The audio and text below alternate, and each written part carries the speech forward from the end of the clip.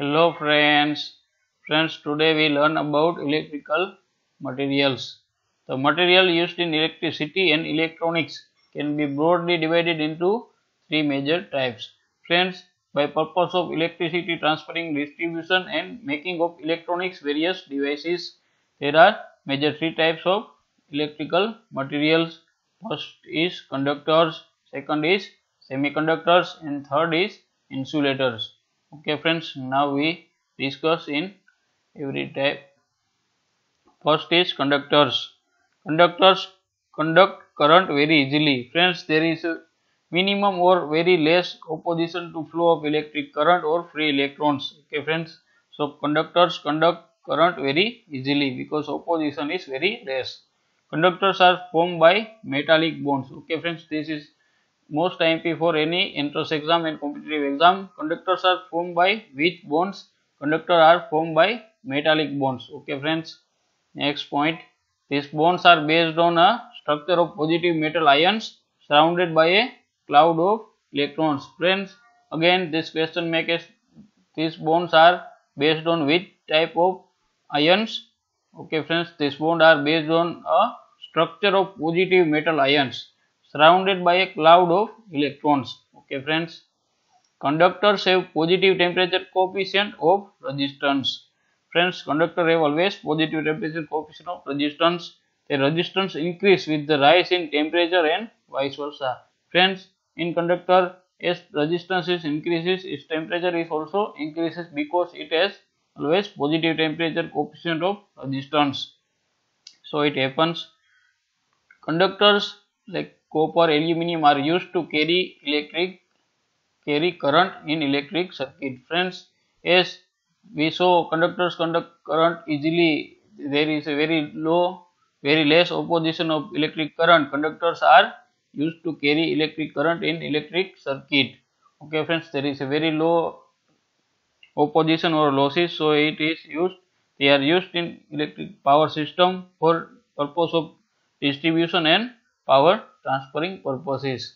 Okay friends next we show semiconductors. The resistivity of semiconductors lies between conductors and insulator friend resistivity of semiconductor is in between of conductors and insulator it is like somehow more than conductors and somehow less than insulator okay friends semiconductors are formed by covalent bonds. Okay friends in we saw previous Conductors are formed by metallic bonds. In semiconductors, semiconductors are formed by covalent bond. Okay friends, this is most, most IMP fact data for any uh, competitive exams.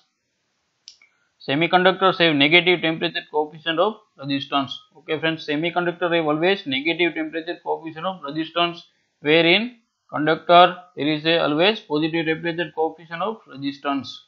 Okay friends, there are differences the resistance decrease with the rise in temperature and vice versa. Okay friends, in semiconductor because of ne negative temperature coefficient of resistance, the resistance decrease with the rise in temperature.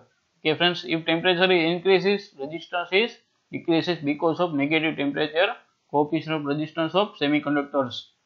Semiconductors like germanium, silicon are used in manufacture, manufacturing of electronic devices like crystal diode transistors.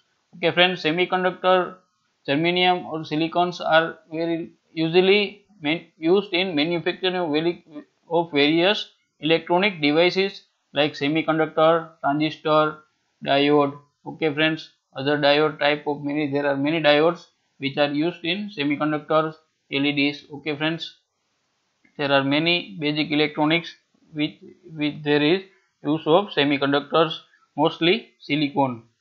Okay friends. Next. Third is insulators. Friends insulator practically conduct no current. In other words insulator have high resistivity. Friends insulator practically current no current because of high opposition. In other words insulator have high resistivity. Insulator have high resistance more than previous two. Conductor and semiconductor also. It has higher resistivity in electrical materials. Particular okay friends? Insulator are predominantly covalent compounds. Okay friends? Again this is also a fact data. Insulator are predominantly by which compound? Covalent compounds. Okay friends? This is objective question making. The valence electron are tightly locked with neighboring atoms and are not available to support the flow of electric current. Friends this is the cause of no conduct no current okay friends why insulators practically no conduct no electric current because of the valence electron are tightly locked with neighboring atoms and are not available to support the flow of electric current. Okay friends, there is no free electrons not available to support the flow of electric current. High opposition is there. Okay friends, in insulator high opposition, high resistance is there. So no free electrons also not available to support the flow of current. Okay friends, insulator have negative temperature coefficient of resistance. Friends, semiconductor and insulator both have negative temperature coefficient of resistance.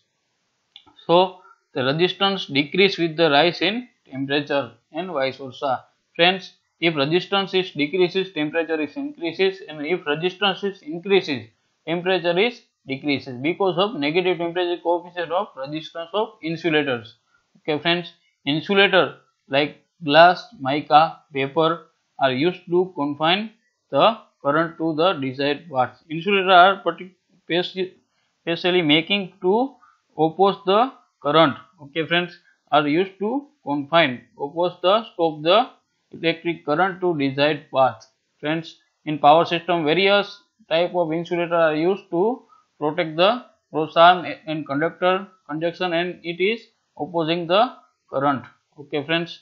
Thank you friends. Please subscribe friends this channel for electrical various electrical concept like this okay friends